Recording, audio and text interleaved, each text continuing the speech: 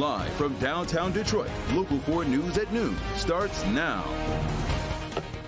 This afternoon, we're looking at some cooler temps than we're used to and definitely cloudier than yesterday. Oh, yeah, but yesterday was gorgeous, so we can't complain. But yeah, the clouds and the rain are rolling in. All right. Well, Ron's tracking all of that as we get ready for some thunderstorms. Haven't said thunderstorms in a while. I mean, that's still spring like. it's not snow, Ron. Oh, we're jumping ahead. Okay. yeah. I mean, this is that period when we can see anything. We can get the temperatures in the 70s. Well, that was a record that we had yesterday with 73. We tied it. Or you could get some snow showers around this time. Well, right now we are seeing temperatures in the 50s and we have rain and thunderstorms that we're talking about today. Here's a look into Southfield right now. Travelers out there dealing with the rain right now. It's 52 in Detroit. 50 for Ann Arbor and in Lapeer. Monroe coming in at 54 degrees. But the big story the wet weather, and some of these could even uh, bring some downpours at time as we have those thunderstorms developing this afternoon. So here's what a ZachTrack 4D radar is showing. The rain showers all across much of the area. You see it around Waterford. You get into the Farmington Hills area, the showers moving around our area. More of this on the way as we pull on out. You can see even a few of these thunderstorms popping up as you get just south of the state line. Also, as you get over toward the Jackson area, some of those showers are popping up with some heavier rain and some thunderstorms. This line right here even producing some warnings. So we're going to be tracking this system as it moves in our direction. We do have a chance of a couple of these storms becoming strong to even severe, mainly south of I-96. It's something we'll keep up to date with and let you know if any alerts are issued. All right, Ron. Jurors deliberating at this hour in the trial of James Crumbley, the father of the Oxford High School shooter. Both sides rested their cases yesterday afternoon. Now it is in the hands of the jury. And Sean, if I'm following correctly, are we about four and a half hours into deliberations?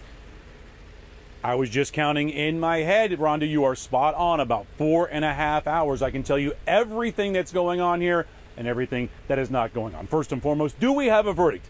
Absolutely not. Not just yet. How do we know? The jury has been extremely quiet, arriving here at the courthouse at 8:30 this morning, going right to the deliberation room, the jury room, and then just before I came out to the camera, lunch was being it was on a roller being taken to the jury, and I asked anything going on. No, just lunch for the jury. And now we see some jury members who'd like to come out for some fresh air. This is all about the trial of James Crumbley, only the second person now, aside from his wife, to be charged for a mass shooting or involved in a mass shooting uh, that his son committed. Four counts of involuntary manslaughter, each four for the deaths of Tate Myre, Madison Baldwin, Hannah St. Juliana, and Justin Schilling. Hannah St. Juliana's mother, Nicole, passed me in the hallway. She is here. And of course, it's a very, very tense time. The other thing we know is that the nation's media has descended upon this courts building today. There is media outside, all the major networks, uh, um, an outlet from overseas, and crews upstairs packing that hallway uh, near courtroom 2C, ready and waiting for anything. So, lunch right now. We will keep an eye on this, of course. We'll head right back up. And the moment we hear that the jury's going to come back, we'll let you know precisely when that is, guys. Well, so worldwide coverage of that. All right, Sean. Uh, when a verdict is reached, by the way, we'll have it for you live on air and on clickondetroit.com. We invite you to stay with us throughout the afternoon as we watch and wait for that verdict. A Warren man is facing federal charges after police say he spray painted racial slurs and symbols on a predominantly black church and park bathroom. 33 year old David Bluer is facing one count of damaging a religious property and one count of interfering with federally protected activities. He could be looking at a year in prison for each charge. We're working to learn more about how a car ended up into a building in Ferndale. Where here's the aftermath of it here. We're told it started as an argument between two men in Detroit. One man got shot as he was trying to drive away and made it to 8 Mile Road in Santa Rosa before this scene, crashing into a Ferndale building. We haven't heard anything else other than that uh, uh, responders took the driver to the hospital where he is in critical condition. The man at the center of a chase and arrest in Sterling Heights is facing eight charges, including five felonies. The department and Macomb County Sheriff's Office is reviewing video of the arrest of Gary Young. It was a domestic violence call on February 25th. Young accused of beating up his girlfriend and her teenage daughter and then leading police on a high speed chase up to 90 miles per hour over 13 miles before he was arrested after running from his vehicle vehicle. Physical force, tasers, and a canine were all used to make the arrest. Two officers are on paid leave, which is protocol. Businesses now have 90 days to comply with the new whippet ban in Michigan. Whippets are sometimes called hippie crack or laughing gas. It's really nitrous oxide canisters. A new law aims to stop the sale of the devices that people use to crack open those canisters to get high. Nitrous canisters are still sold in Michigan for cooking. Anyone caught selling these devices could be looking at 90 days in jail and a $5,000 fine, and penalties are bigger if someone is caught selling to a minor.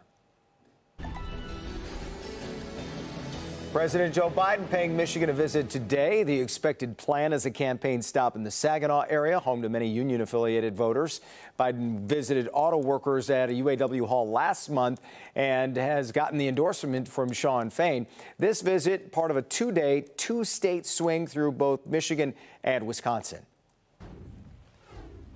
There is uh, lots of talk about opportunity and high paying jobs and skilled trades. And now students have a new tool right here in Detroit to help decide what skilled trade could be right for them. And at the Career Center, the Skilled Trades Career Center is open inside Junior Achievement Park. And we're told this state of the art space uses virtual reality to help teach students about different industries.